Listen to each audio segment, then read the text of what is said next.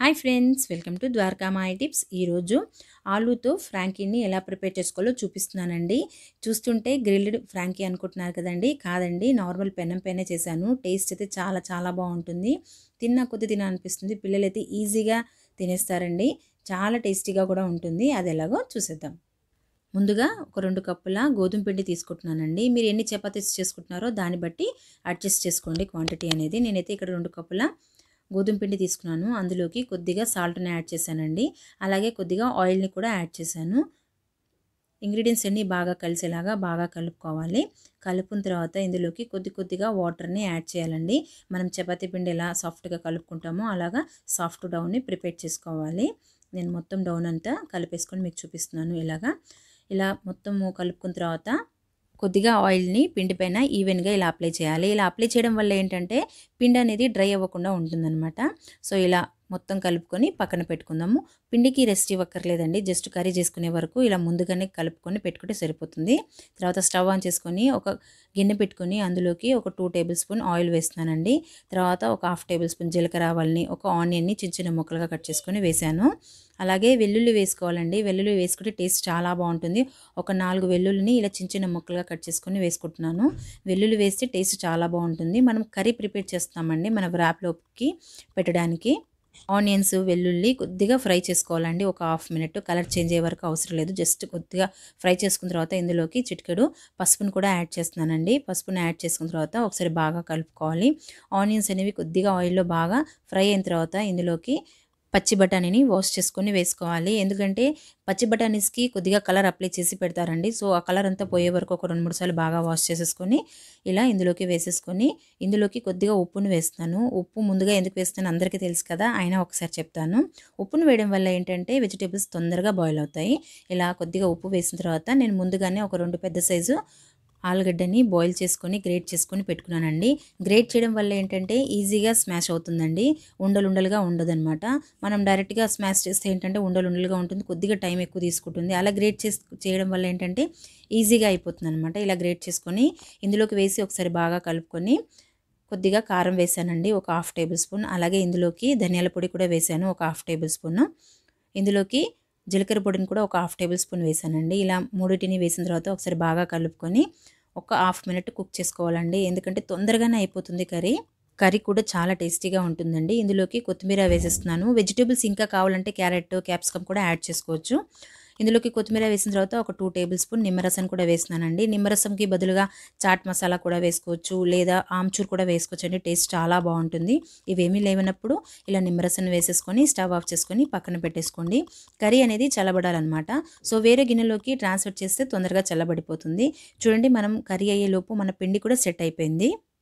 ఒకసారి బాగా కలుపుకొని పీసెస్ పీసెస్గా మనం చపాతీ ముద్దలు ఎలా చేసుకుంటామో అలా ముద్దలు చేసేసుకొని పక్కన పెట్టేసుకోవాలండి. అన్ని రౌండ్ రౌండ్ బౌల్స్ లాగా. మనం పైన ఆయిల్ని అప్లై చేయడం వల్ల పిండి అనేది డ్రై అవ్వకుండా ఉన్నదండి సో ఈ టిప్ యూజ్ చేసుకొని మీరు పిండిని డ్రై అవ్వకుండా ఆయిల్ని అప్లై చేసుకోవచ్చు. తర్వాత మన చపాతీస్ చేసుకోవడానికి ఇలా రౌండ్ రౌండ్గా బాల్స్ చేసుకొని ఈవెన్గా ఇలా చపాతీని రోల్ చేసుకోవాలండి. చపాతీ లాగే రౌండ్గా. ఈజీగా అయిపోతుందండి. ఎప్పుడైనా టిఫిన్ బోర్ కొట్టినప్పుడు ఇలా చేసుకోండి. టేస్ట్ చాలా బాగుంటుంది. ఈవినింగ్ స్నాక్స్లో కానీ మార్నింగ్ బ్రేక్ఫాస్ట్లో కానీ సూపర్గా ఉంటుందండి ఇది. ఈజీ కూడా అయిపోతుంది. పిల్లల లంచ్ బాక్స్లో కూడా బాగుంటుందండి. ఇలా రోల్ చేసుకోవాలండి అన్ని చపాతీస్ని. రోల్ చేసుకొని ఒక ప్లేట్లోకి అన్నిటినీ ట్రాన్స్ఫర్ చేసుకోండి. అన్నీ ఇలాగే చపాతీస్ చేసుకొని రెడీ చేసుకున్నానండి. తర్వాత స్టవ్ ఆన్ చేసుకొని చపాతీ పెనం పెట్టుకొని చపాతీని ఇలా హాఫ్ కుక్ చేసుకోండి ఎక్కువ కుక్ చేసుకోకండి. మామూలు చపాతి మనం ఎలా చేస్తామో అలా కాకుండా కొద్దిగా కచ్చా పక్కగా వేయించుకొని పక్కన పెట్టుకోండి. ఈవెన్గా రెండు వైపులా అలాగే వేయించుకోవాలండి. ఇలా అన్నిటిని ముందుగానే వేయించుకొని పెట్టుకున్నారనుకోండి ఎప్పుడు తిననిపిస్తే అప్పుడు ఫ్రాంక్ని రెడీ చేసేసుకోవచ్చు. ఇలా వేయించుకోండి. నేను అన్నీ ఇలాగే ప్రిపేర్ చేసుకొని మీకు చూపిస్తున్నాను. ఇలా రెడీ చేసుకొని హాట్ బాక్స్లో అలా పెట్టేసుకుంటే ఇప్పుడు ఈవినింగ్ టైంలో కానీ మార్నింగ్ కానీ పిల్లలకి ఎప్పుడు కావాలంటే అప్పుడు వ్రాప్ని రెడీ చేసుకొని ఇవ్వచ్చు. నేను ఇక్కడ ఒక చపాతి తీసుకొని వ్రాప్ ప్రిపరేషన్కి పెట్టాను. కర్రీ ఎలా అయిందో ఒకసారి చెక్ చేసుకుందామండి. చల్లబడింది కొద్దిగా టేస్ట్ ఎలా ఉందో చూసుకుందాం. ఒకవేళ సాల్ట్ అది సరిపోకపోతే కూడా ఇప్పుడే వేసేసుకోవచ్చు. టేస్ట్ అయితే చాలా బాగుంది. మనము లెమన్ జ్యూస్ వేసాం కదండి టేస్ట్ ఇంకా బాగుంది. ఇందులోకి నేను మయోనైజ్ని వేసేస్తున్నానండి. మీరు మయోనైజ్కి బదులుగా టమాటా కెచప్ కూడా వేసేసుకోవచ్చు. ఒకవేళ లేకపోతే బయట మన ఫ్రాంకీ కానీ వ్రాపి తింటే వాళ్ళు ఓన్లీ టమాటా కెచప్ వేస్తారు. బట్ బట్ మైనస్ వేస్తే మాత్రం సూపర్ టేస్ట్ వస్తుందండి. ఇలా మైనస్ని కొద్దిగా టమాటా కెచప్ని వేసేసి ఈవెన్గా స్ప్రెడ్ చేసేసుకొని ఇందులోకి కర్రీని ఇలా సిలిటికల్ షేప్లో చేసేసుకోండి. కొంతమంది పిల్లలు కర్రీ అస్సలు తినరండి. వాళ్ళకైతే ఇది ఈజీ అండి. ఎక్కువ తినేస్తారు కర్రీ కూడా. అసలు తీ వదిలేయరు. ఇలా షేప్ని ప్రిపేర్ చేసుకొని చపాతీ పైన ఇలా ప్లేస్ చేసుకోవాలండి. టేస్ట్ చాలా బాగుంటుందండి. ఫోల్డింగ్ కూడా మీకు చూపిస్తాను. ఇలా ఫస్ట్ కింద ఇలా ఫోల్డ్ చేసుకొని సైడ్స్కి ఇలా క్లోజ్ చేయాలండి అంతే. చాలా ఈజీ అండి. చెప్పాను కదా ఇంకా మీరు ఆనియన్స్ ఇంకా కొత్తిమీర కావాలనుకుంటే కూడా పైన వేసేసుకోవచ్చు. ఇలా అన్నీ ఇలాగే ప్రిపేర్ చేసుకొని మీకు చూపిస్తానండి. టేస్ట్ అయితే ఎక్స్ట్రీమ్ ఉంటుందండి. అసలు మళ్ళీ మళ్ళీ తింటారు. ఇలాగే అన్నీ ప్రిపేర్ చేసుకొని ముందుగానే ప్రిపేర్ చేసుకొని తర్వాత పెనం పైన వేయించుకుందాము. నేను ఇక్కడ పెనంని గ్రిల్డ్ పెనం దొరుకుతుంది కదండి బయట అలా తీసుకున్నాను.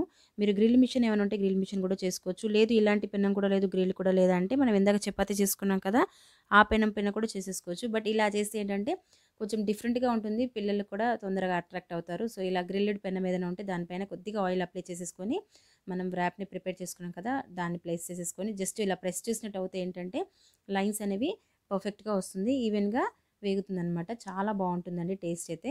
చూడండి ఎంత పర్ఫెక్ట్గా అయిందో. ఒక హాఫ్ మినిట్ అండి ఎక్కువసేపు కుక్ చేయకండి. ఆల్రెడీ మనం కర్రీని చపాతీని కూడా ఆల్రెడీ అవుట్ బాయిల్ చేసుకున్నాం కాబట్టి సరిపోతుంది. ఇలా రెండింటిని ఇలాగే ప్రిపేర్ చేసుకొని మీకు సర్వింగ్ బౌల్లో చూ చూపిస్తానండి. టేస్ట్ అయితే చాలా చాలా బాగుంటుంది. పిల్లలు అసలు కర్రీ తినని వాళ్ళు కూడా ఇలా తినేస్తారండి. డిఫరెంట్గా కూడా ఉంటుందండి. ఇలా డెఫినెట్గా ట్రై చేయండి ఫ్రెండ్స్. చాలా బాగుంటుంది. మీ అందరికీ బాగా నచ్చుతుంది. మైనస్ వేసాం కదా ఇంకా కర్రీలో మనము లెమన్ జ్యూస్ కూడా వేసాం కదండి. టేస్ట్ చాలా బాగుంటుంది. మీరు ఇంకా వెజ్జెస్ ఇంకా ఎక్కువ కావాలంటే క్యారెట్ క్యాప్సికమ్ కూడా యాడ్ చేసుకోవచ్చు. టేస్ట్ అయితే చాలా చాలా బాగుంది. ఈ వీడియో మీ అందరికీ యూస్ఫుల్ అయింది అనుకుంటానండి. ఈ వీడియో కానీ నచ్చినట్టయితే ఒక లైక్ చేయండి అండ్ కమెంట్ చేయడం అస్సలు మర్చిపోకండి. ఫస్ట్ టైం కానీ మీరు నా ఛానల్ వాచ్ చేసినట్టయితే ప్లీజ్ సబ్స్క్రైబ్ చేసుకోండి.